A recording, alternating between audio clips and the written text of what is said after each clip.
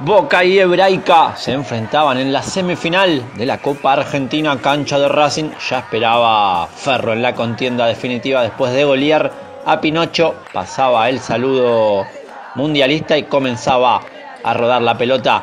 Mucho público se acercó hasta Avellaneda para vivir este encuentro que siempre suele ser parejo.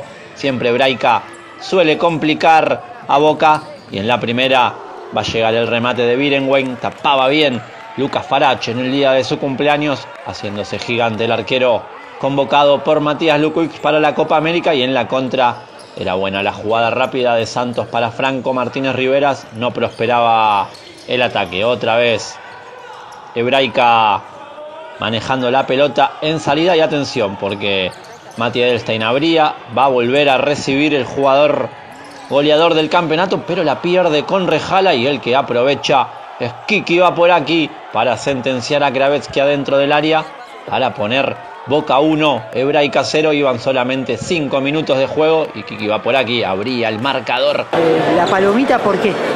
Para un amigo, para Johnny de Calcio, que, que, siempre me acompaña, justo hoy lo vi y le dije que le iba a dedicar un gol, así que fue para él. Con dedicatoria incluida del Fueguino y Kravetsky que salvaba el arco del equipo de Nacho Cabral ante el remate de Richard Rejala. Después probaba el Pulga Geratki con efecto. Controlaba bien el 1 que tiene Hebraica, que no podía salir claro de la presión alta de Boca. Esta va a ser una de las pocas situaciones que genere Hebraica y Gaby Edelstein que remataba cruzado y afuera. Pipi Jiménez, una de las figuras del partido, lo controló muy bien a Pastor. Va a salir jugando, Basile, Catardo, van a buscar el segundo palo y no llegaba Pipi Jiménez que la había empezado para definir. Se salvaba Hebraica y Boca controlaba, dominaba y era efectivo para llegar al arco rival. El Pulga Geradgi buscando el taco del ruso Maina. Era un golazo, era la marca registrada, pero Kravetsky sacó el manotazo para no dejar que ese gol recorra el mundo y en la contra sacaba rápido Kravetsky. No llegaba Pastor, el remate se iba desviado. Todo esto acontecía en la primera etapa. Catardo por derecha, busca el remate cruzado y es tremenda la respuesta de Kravetsky para decir que las cosas estaban solamente 1 a 0 a pesar de que Boca generó muchas situaciones. Otra vez Catardo enganchando, probando desde afuera del área el palo y Kravetsky le decían que no. Merecía otro gol Boca, pero Kravetsky era la figura y así nos vamos a ir al descanso con las cosas 1 a 0 y con esta que va a tener Gaby Edelstein y Farach evitando el empate. Atención, tiro libre en la puerta del área. Esta va a ser una de las más claras del partido. Apunta Mati Edelstein y el ángulo clan que le dice que no. Se salvaba Boca. Se perdía el empate del equipo de Nacho Cabral, que aquí va a tener otra vez la marca registrada. El pase largo llegaba a Edelstein y Farach achicando rápido para evitar el empate. Tiro libre para Boca. Probaba Santi Basile y Kravetsky volaba para sacarla en el segundo palo. Era un partidazo ahora de ida y vuelta porque Braica había mejorado en la segunda etapa y porque Boca estaba solamente un gol arriba en el marcador, pero va a llegar esto, la jugada y el golazo tremendo de Richard, el uruguayo, el mascota Catardo, la hicieron entre Alamiro Vaporaki y Andrés Santos, el uruguayo la colgó del ángulo, golazo para poner las cosas 2 a 0 y empezar a sentenciar la semifinal. Hebraica va a intentar con Ari Birenwein como arquero jugador en los minutos finales. Va a llegar esta jugada donde remataba Pastor y donde era claro penal. La pelota le daba en la mano a Basile. Hace el gesto Leandro Lorenzo de que se quiso cubrir, pero claramente tenía el brazo extendido. Era penal para Hebraica. No lo dieron, por eso las protestas. Clave, la verdad que fue clave, fue penal. Fue un, la verdad que fue un tremendo penal.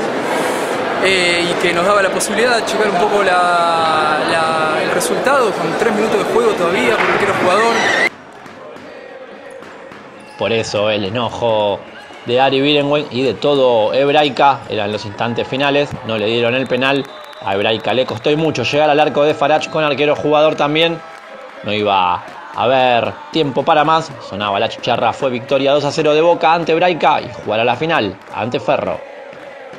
Bueno, partido durísimo, es un equipo que sabe lo que quiere, sabe lo que juega, tiene buenos jugadores, eh, viene trabajando con este cuerpo técnico ya hace unos años y la verdad que, que iba a ser trabado, se definió por, por un par de goles y, y, bueno, nada, este equipo sí tiene jerarquía, tiene, tiene ese espíritu de, de, ganador y mentalidad ganadora, así que bueno, jugaremos otra final, esperemos que, que esta venga para nuestro lado, no tener que sufrir en penales otra vez. Bueno, han dejado todo ante Boca, eh, no se les dio, pero ¿con qué sensaciones te vas de, de acá de Racing? Eh, ahora bajé un poco más, la verdad que estaba un poco caliente por la situación, por el penal que no se cobró, sabiendo que son situaciones límite, son finales, hay muy pocas situaciones. Y la verdad que, bueno, nada, no, no, me, no me quiero quedar tan solo con esa jugada, creo que se hizo un muy buen partido creo que así todo hay cosas por mejorar y vamos a seguir trabajando para seguir estando a la altura, que todavía quedan finales por jugar. Eh, que al equipo lo vi muy bien, eh, por momentos con, con, el dominio del partido, con la pelota, por momentos nos sacaron la pelota, pero, pero supimos marcar, supimos sufrir. Eh, ¿Por qué lo ganó Boca? Por esto que te digo, quizás eh, no nos desesperamos cuando ellos agarraron la, rienda del partido porque en un momento se hicieron cargo de la pelota. Quizás nosotros por estar ganando nos empezamos a meter un poquito más atrás, pero creo que estuvimos bien defensivamente, no, no nos llegaron mucho, después al final ellos ya vinieron con todo y obviamente algo te llegan, pero creo que en el total de partido fuimos mejores. Eh, cuarta final de, del equipo en el año, Kiki me decía, esperemos no sufrir otra vez en los penales, eh, bueno, ¿se disfruta llegar a otra final o se siente ya la presión de decir, bueno, ganemos de nuevo? No, obvio que se disfruta llegar a la final, hay que, hay que, hay que disfrutarlo hoy y ya mañana pensar primero en, el Secla, eh, tratar de asegurar la primera posición y después, bueno, supongo que se juega la semana que viene con Ferro y obviamente llegar a la final es, es cumplir un primer objetivo, pero nosotros la queremos ganar, eh, no queremos quedarnos con llegar a la final.